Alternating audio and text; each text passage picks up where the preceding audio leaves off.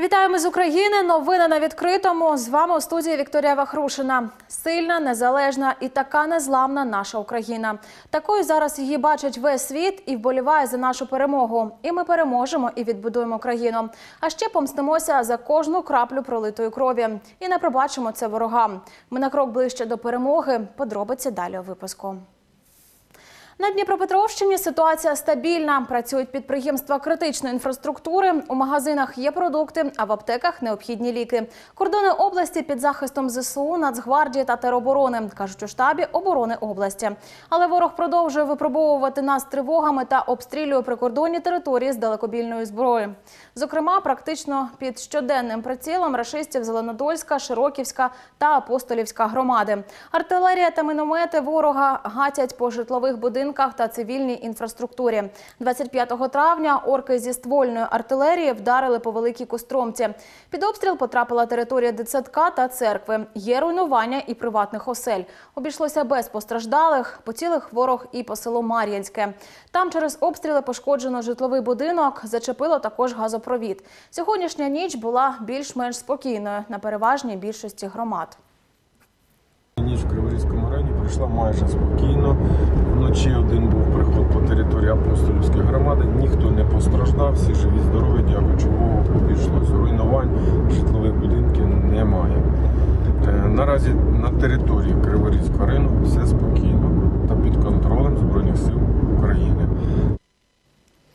Понад 300 тисяч українців вже поділилися інформацією про пересування техніки окупантів у чат-боті «Є ворог». Програма вже декілька місяців допомагає робити смерть рашистам. Допомогти палити техніку орків і самих росіян можна в чотири кроки. У чат-боті «Є ворог» додайте декілька фото або відео про пересування військ агресора. Вкажіть геолокацію та напрямок руху загарбників. Опишіть те, що ви бачите. А якщо немає можливості зробити фото чи відео, надішліть заявку з детальним текстовим описом. При цьому в Мінцифрі рекомендують не забувати й про власну безпеку. Тому після відправки даних до є ворога очистять історію листування, а також видаліть фото та відео техніки окупантів. Скажи правду, Мін'юст створив портал для тих, хто постраждав від окупантів. Платформа допоможе покарати росіян за їхні злочини. Вона для ефективного збирання та оброблення інформації про порушення прав людини російськими окупантами. Мета притягнути РФ до відповідальності у європейському суді. Кожен, хто постраждав від рашистів, може подати заявку та розповісти власну правду, яку почує весь світ. Аби це зробити, потрібно перейти на сайт, заповнити просту форму з інформацією про злочин, свідків та жертв і додати медіадокази. Або ж з усіма деталями розказати про те, що людина пережила. Кабмін дозволив виїзд за межі України чоловіків призовного віку. Під час війни можуть перетинати кордон декілька категорій. Зокрема, йдеться про водіїв, які перевозять медичні вантажі, гуманітарку для потреб ЗСУ та населення України. Вони мають право безперервно перебувати за кордоном не більше 30 днів. Також дозволяється проїзд через кордон далекобійникам на фурах, які мають ліцензії. Для них термін перебування за межами держави максимум 45 днів. Виїжджати зможуть і працівники Укрзалізниці, щоб забезпечувати безперебійну роботу залізничного транспорту. Максимально на 6 місяців. Щодо спортсменів, пропуск за кордон мають представники національних збірних України незалежно від виду спорта. Максимальна тривалість їхньої подорожі місяць. Ці правила розповсюджуються також на тренерів та суддів. Перше, друге та десерти. У Дніпрі зірки кулінарного шоу готують до тисячі порцій обідів для бійців і переселенців. Продукти для приготування шукають разом із волонтерами, а працюють без вихідних. Як їм це вдається і чим тішать українців, наші журналісти розкажуть. На кухні усе кипить, шкварчить та ріжеться. Одні тут готують кашу, Стараемся сделать ее очень вкусной. Что Вариантов продуктов все, что и- все готовим. Дехто робить суп із сочевицею. Додаємо різноманітні приправи та спеції, е, вершкове масло. І найголовніше це е, любов до страви, щоб це було смачно. Тоді як в іншому кутку на шматочки рубають м'ясо На день у такий спосіб м'яса обробляють до 80 кілограмів. З нього готують щось на кшталт тушонки, каже кухар Іван. Продукти для неї, так само як і для інших страв, кулінари шукають самі. по знакомству, кто-то где-то что-то поможет. И э, вот такими путями мы начали выходить да, на поставщиков там, мяса, которые там, раз в неделю могут привозить. Там, кто-то еще чем-то поможет. Допомагають на кухні і волонтери. Це жителі Дніпра та переселенці. Вони на заготовках. Приходимо, коли можемо. І скільки часу треба. Тут професіоналів немає. приходимо, тому що треба нашим воїнам, треба нашим дітям, нашим любим жінкам, чоловікам, солдатам і всім всім. Як пакують обіди, нам показує пані Тетяна. Вона відповідальна за видачу готових страв. Розповідає, наскільки важливий цей етап. Здесь очень важно не просчитаться, не ошибиться, проконтролировать, чтобы а, правильно насыпали погромовку э, того же самого первого, того же самого второго, и в конечном итоге, чтобы а, каждый, кто к нам приезжает, получил свой заказ. Таку роботу на кухні організував шеф-кухар Леонід Малюга. До початку російського вторгнення він збирався відкривати свій ресторан. Та коли плани змінила війна, вирішив допомагати українцям і, попри все, готувати. У кожного з'явилось відчуття і бажання, що він потрібен, е, він має щось зробити. Ми щодня сюди приходимо зранку і до пізньої ночі, ну скільки потрібно, стільки ми тут знаходимося. Тому що ну які можуть бути вихідні, якщо люди, які е, боронять або постраждали від війни, ну.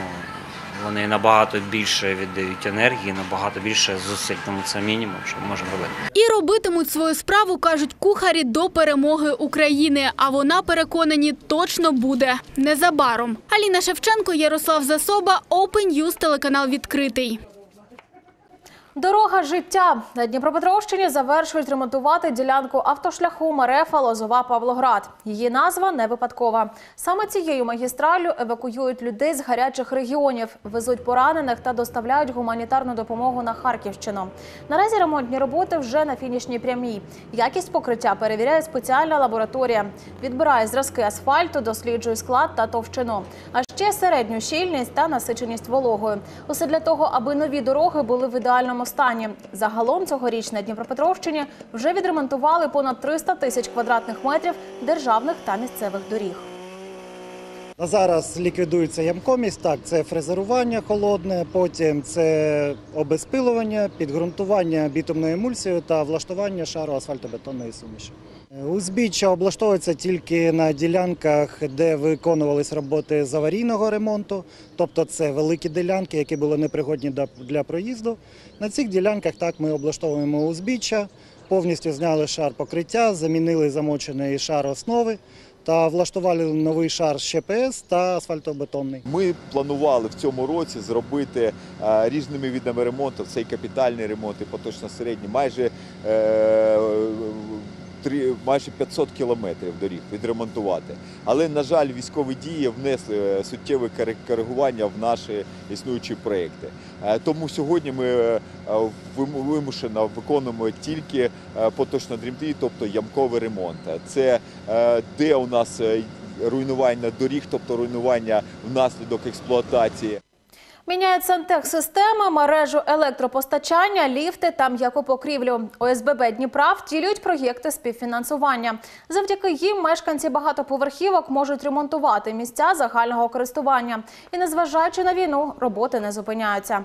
Так, один з будинків на проспекті Слобожанському, 73, якому більш як півстоліття, давно потребував реконструкції електромереж. Щоб привести їх до ладу, місцеві мешканці самі зібрали частину грошей. Решту їм виділили з міського бюджету.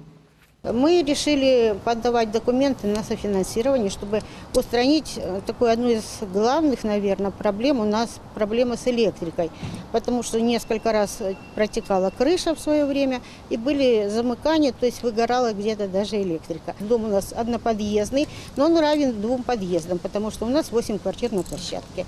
Сделали нам начали работать в апреле, в начале апреля. К концу апреля все сдали. Работой мы удовлетворены. Все очень эстетично, в общем-то быстро, чисто, нормально. Сумарно е, було замінено там стояків е, е, в даному будинку.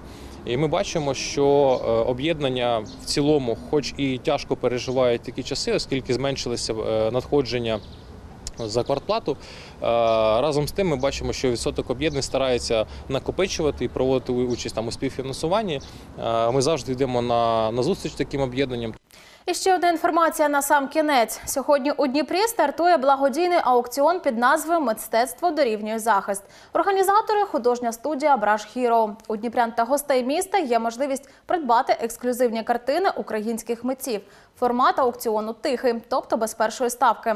А за виручені кошти від продажу картин організатори придбають обладнання для ЗСУ.